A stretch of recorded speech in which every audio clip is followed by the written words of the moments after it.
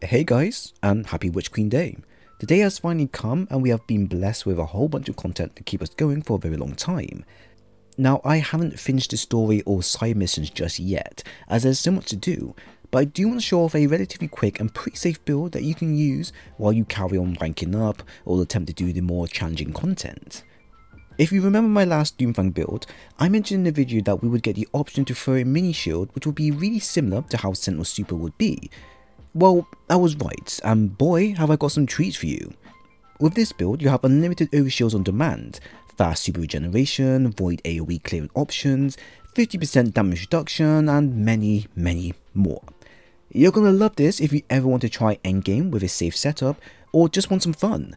Either way, this build is packing heat and you'll not want to miss it. But you know what else packs some heat? This channel right here and if you enjoyed the content then do leave a like, a sub and turn on your notifications as it really does help me out. So starting off with the Void subclass, we'll be following a method of allowing us to have pure overshield and explosions on demand, and how you pick this will be down to what type of playstyle you'll want. You'll need to make sure you have the shield throw melee option available, as this will allow you to throw your shields and also gain back overshields for each combatant touched by it. This is important as Doomfang Pauldrons and Monte Carlo will be used to create an infinite source of shields, melee and super energy to you. You'll then want to pair this up with the Bastion aspect, where casting a super will grant you and your allies an overshield, and using your barricade will do the same. Controlled demolition aspect is what the name suggests, hitting a combatant with void abilities will make them volatile and cause them to explode and chain their effects. Fragment, you then want to have Echo of Explosion, which will cause targets to explode from void ability kills. Echo of Leeching, where melee final blows start health regeneration for you and nearby allies. And Echo of Persistence, which will increase the duration of void buffs applied to you, so for example overshields will be extended by an extra few seconds. What you get is a build designed around overshield gameplay for you and your allies as best as you can, and support them with extra level of defense so that they don't die so easily. For us, we can create an endless pool of shielding via our melee, and from here we'll cause combatants to explode and chain their void effects onto others nearby, and generally clear out areas in seconds.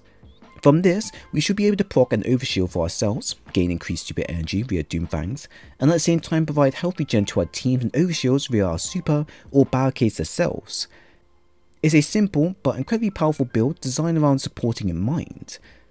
Now to expand on the build a bit further, we have our melee at 100 so we can passively gain our melee over time, although if you're using a Monte Carlo or Traveler's Chosen, then this can be lowered down depending on the activity you play in. I also have the heavy handed mod attached, which will allow me to regain half of my melee energy back once charged with light. This is useful as in case you're not able to use Monty, you'll be guaranteed to get your melee energy back up within seconds. At the same time, it can also help with Monty boosting your melee recovery faster if you don't proc the chance to get your full melee back via its exotic traits. And lastly, we then have the Well of Tenacity mod for the 50% damage reduction, which is great on this build as we can proc it multiple times as long as we activate our melee Wellmaker mod. It all looked confusing at first, but honestly it's very simple. Just throw your shield and let the rest fall in place. So now this leads us to weapons, and truth be told, as endgame isn't really a thing at the moment, we can use whatever loadout you like as long as you have the following mods and fragments used.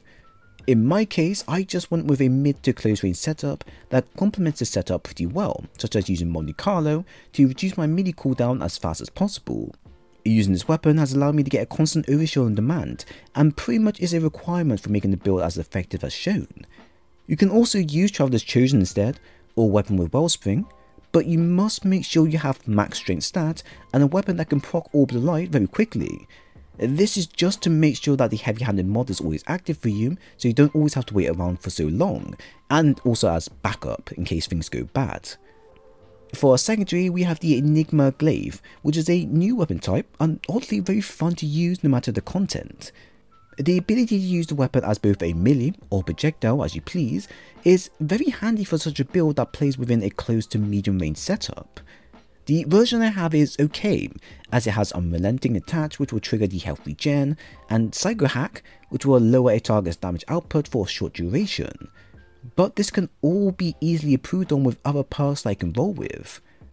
For the time being, it has aided me very well, but when I get a chance to, I will try and get a version with more damaging perks instead, since we don't need more healing that we already have. For heavy, we have the Palmyra-B rocket launcher with Impulse Amplifier and Lasting Impression, with the Hakke Breach Armor's additional perk. Now listen, try and get this roll if you can as this thing is very powerful against vehicles or anything touched by stasis. Now although we don't face a lot of vehicles in game, the chances we do will be very helpful to have just in case. Plus, this weapon against mini bosses and bosses still make it very viable thanks to the Incendiary ability to track targets. Heavy is honestly your pick, but the rocket launcher has promise. For stats, strength is your one main stat that you want to heavily invest in, and then your resilience and intellect stat will follow up once your strength stat is at the relevant level.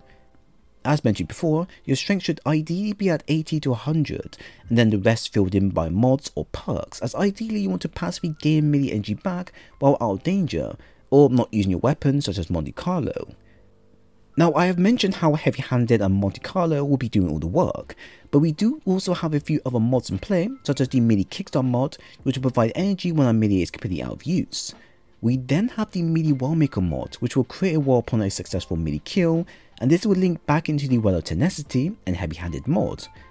You'll then also want to have the Invigoration, Absolution, and Distribution mod, which will all play a major role in your ability cooldown rates.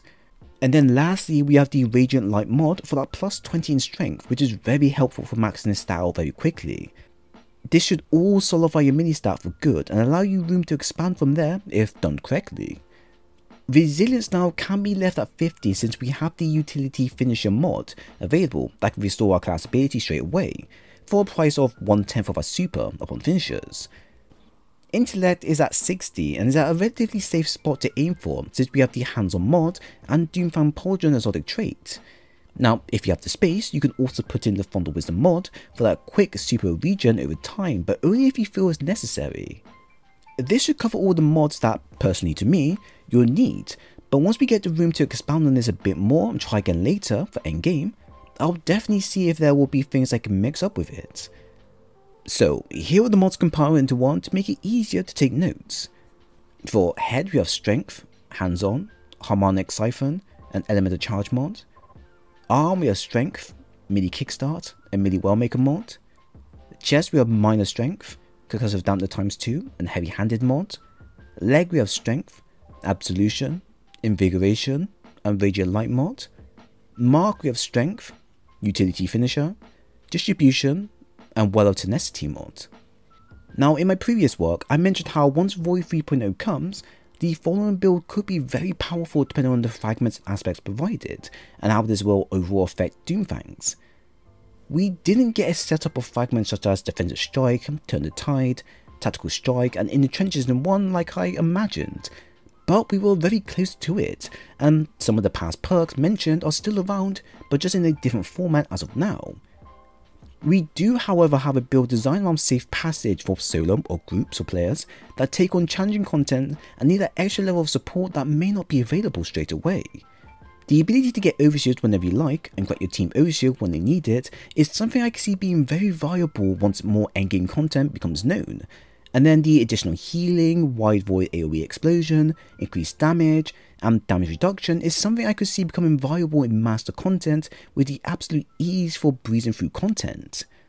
I can't say for sure that this build will be useful for Grandmasters, since your shield attack will need to kill minor combatants within one hit at least, and having Well of Tenacity mod is very tricky to work with, considering how it's got a limited time to it. However, we can make combatants volatile on touch, which is useful for doing large amount of damage quickly, and in GMs this could be absolutely necessary for certain sections. Well, a Tenacity now can be swapped out for Protective Light, and although that's been nerfed down to 10%, its effects will still be very strong with such a setup in mind. You just need to make sure you place your barricades down more often so you can prevent team wipes from occurring. Compared to the last version I did, I believe this version is a lot safer to use at distance and this could make it viable for whatever content you have in mind. You can even swap out the super for bubble instead, which will be more viable for grandmasters in general. So straight away, you have the option to expand on what you have while not losing out on the core of the build. This is definitely an interesting build that I'm quite glad to revisit again, seeing I can now offer so much more to users. So now I'll leave the rest for you guys to take away from there. And generally, tell me what your thoughts are on the build. Go ahead, leave a comment, and let me see what you got. So if you enjoyed the video, then please leave a like and a sub, and also follow me on Twitter to keep up to date with any new changes. Once again, thanks for stopping by. I'll see you on the next one.